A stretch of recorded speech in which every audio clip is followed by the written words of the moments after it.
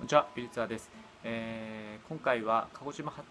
着の、えー、バリ島の航空券のご案内します、えー、鹿児島空港から中国上海経由でですね往復2万7200円、まあ、最低価格で席が空いていればという条件なんですけどもその他費用が2万700円なんで合計でこちらも5万切ります。で、えまあ、これにですねホテル格安ホテルとかあと送迎ですねこういうのつけますと通常のあのフリープランえー、パックツアーのフリープランと同じような条件になりますので、えー、まあ、そういう裏技もできますので、ぜひ、えー、ウィルツアーまで連絡いただければ、こういう格安チケットを使った、えフリープランを造成いたします。えー、ぜひご利用ください、えよろしくお願いします。